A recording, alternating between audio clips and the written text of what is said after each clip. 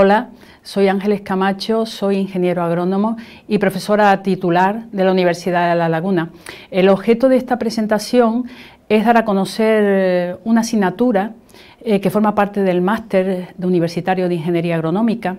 una asignatura eh, en la que participo como docente y que se denomina Nutrición y Tecnología de la Producción Animal. Es una asignatura del área de producción animal obligatoria y que tiene un total de, seis créditos. La asignatura mm, busca, eh, cuando el alumno termina, pues que adquiera unas competencias específicas, específicas en materia de producción animal, concretamente en el tema de la nutrición. En el tema de la nutrición, eh, también en temas de la tecnología de fabricación de piensos y en todo ese paquete de medidas higiénicas que se deben poner en marcha en las instalaciones donde están los animales, eh, esas especies ganaderas de las que buscamos pues, productos de origen animal para la alimentación humana. Eh, para alcanzar esas competencias específicas eh, se contemplan una serie de contenidos eh, que tienen que ver con el conocimiento por parte del alumno de las necesidades nutritivas de las diferentes especies ganaderas, un conocimiento del tipo de alimentos que se pueden utilizar, sus características y su composición nutritiva. Estos dos bloques son eh, fundamentales, imprescindibles para pasar a una de las partes prácticas importantes de la asignatura, que es el cálculo de raciones. O sea, que no es otra cosa que determinar qué cantidad de cada alimento hay que suministrar a los animales para que cubran sus necesidades diarias y puedan ofertarnos esos productos que buscamos. Es un racionamiento, una parte práctica de la asignatura que empezamos con un cálculo manual, que pasamos a utilizar el, programa Excel para hacer programación, eh, cálculo por programación lineal y que al final pues, eh, el alumno entra en el manejo de, uno de un programa informático especialmente diseñado para el racionamiento de especies rumiantes.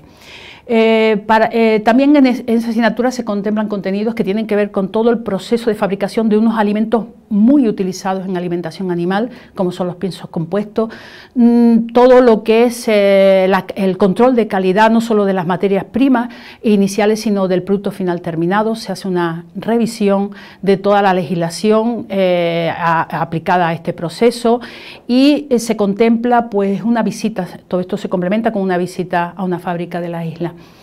Eh, existen unos alimentos importantísimos para la producción animal que son los alimentos conservados. Bueno, pues en esta asignatura, entre los contenidos está el, dar a conocer al alumno cómo es el proceso eh, de, conservación mediante el ensilado, mediante la nidificación.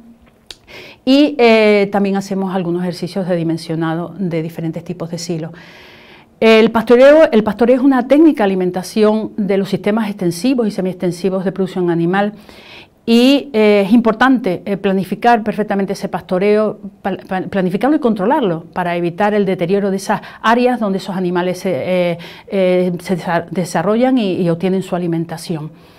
Dentro de ese bloque de contenidos, pues tenemos por supuesto todo lo que es la higiene animal, todo lo que es qué tipo, los residuos que se generan, qué tipo de residuos se generan y cómo gestionarlos correctamente.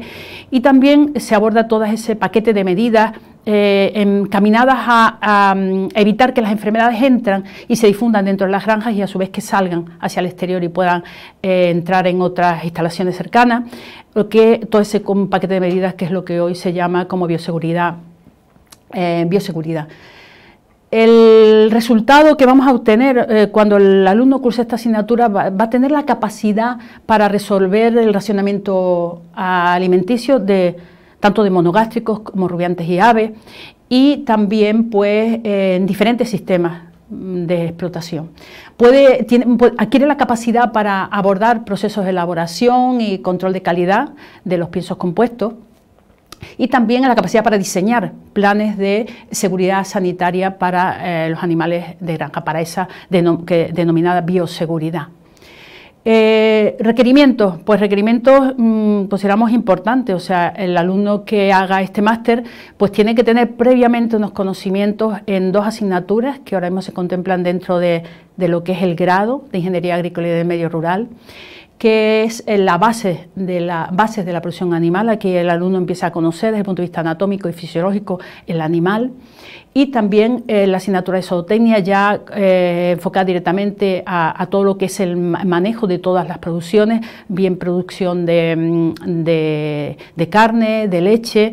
y eh, conociendo cómo es la planificación productiva, qué tipo de edificaciones, instalaciones se requieren, qué tipo manejo alimenticio, principales enfermedades y como digo, pues es fundamental que tenga estos conocimientos en estas materias para eh, poder cursar esta asignatura que estamos presentando. Eh, ya en el ejercicio profesional, el ingeniero agrónomo pues, puede trabajar en empresas eh, ganaderas, bien sean nacionales o, multinacionales, que están dedicadas a la producción eh, de alimentos de origen animal y mm, diseñando eh, planes de alimentación, identificando... Mm, llevando a cabo todo lo que es el control de calidad de la alimentación, de los alimentos que se manejan o todo el tema de la bioseguridad. Vas a poder dirigir investigación relacionada con el campo de la alimentación del ganado.